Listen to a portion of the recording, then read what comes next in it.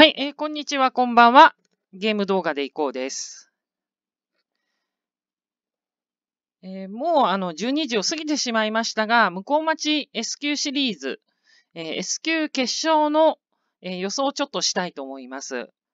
えー、ご覧の9人、えー、松本と鳥取がですね、えー、前を回って自力を、自力にで走る。まあ、二分線。プラス、まあ、短期の東口ですね。で、えー、松本の後ろは、えー、同じ四国の戸田なんですけど、まあ、あの、マーク選手じゃないということで、えー、中、千葉の中村博士が競りに入ります。で、えー、鳥取には、えっ、と、別地区になるんですけど、佐藤慎太郎をはじめとする南韓の3人、南韓じゃない、えー、東北の3人が回ります。えー、東口は短期。これは、まあもちろん鳥取の番手攻めてもいいんですけど、まあ番手勝負するより縦の足を生かす選手なので、えー、松本と鳥取のどちらかが先手を取るかを見定めて、最後は自力含みの競争じゃないかなと思います。え、では、あの、鳥取と松本、どっちが先行するのか、え、松本の、え、番手はどのぐらいもつれてどっちが勝つのか。まず、あの、先行なんですけど、鳥取ももう思い切って行く選手です。が、えー、ここはですね、鳥取の後ろは、え別地区というのは引っかかります。一方で松本の後ろも競りなので、それを、あの、危険にしながらの競争になると。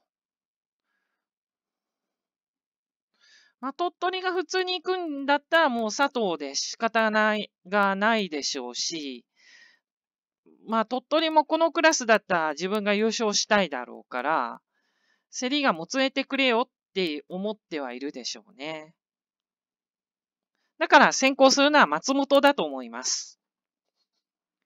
で、えー、次に松本の番手競り。どっちが取りに来るのか。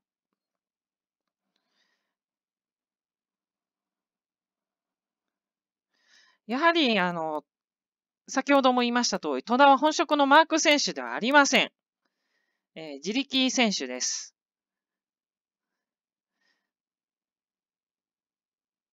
中村博が、だから取り切ると思います。その中村博士、2日間すごいいい競争ですね。まあ、佐藤慎太郎も貫禄を見せつけるんですけど、見せつけてるんですけど、先行するのは松本と見て、えー、中村はそんなに足をつかずに取り切れると思います。まあ、堤は、うーん、追い上げはしないだろうな。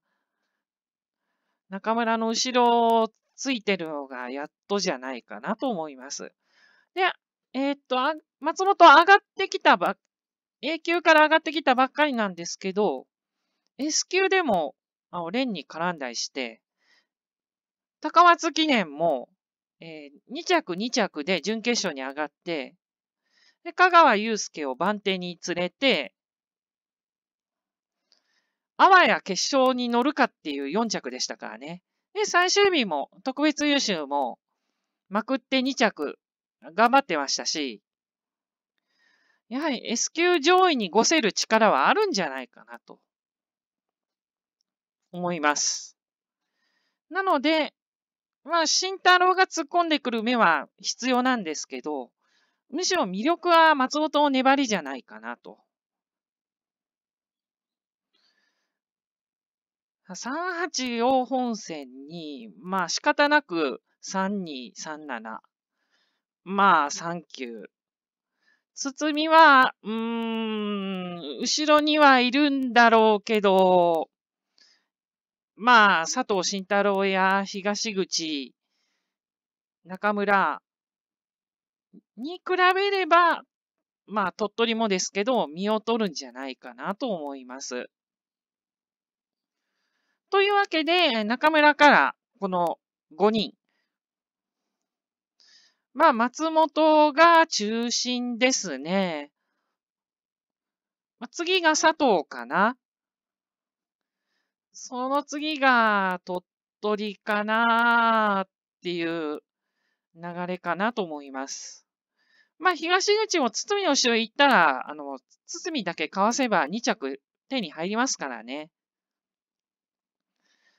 東口もあるかとは思います。はい。ご覧の5点でいきたいと思います。はい。以上、あの、向こう町 S q シリーズ。今日は、あの、楽天ブログで予想したものを、あの、動画にしてみました。あの楽天ブログの方も、あの、説明欄に記載しておりますので、よろしければ見見に来てください。ツイッターも説明欄に記載しております。チャンネル登録まだの方、えー、よろしければチャンネル登録していただければ嬉しいです。えー、また、あの、最後の20秒で流します関連動画、関連プレイリストの方も良ければ見てください。えー、明日からまた記念、名古屋記念が始まります。結構4日間、あの、忙しい日々なんですけど、最終日はやろうかなと思ってます。ご視聴いただきありがとうございました。ゲーム動画でいこうでした。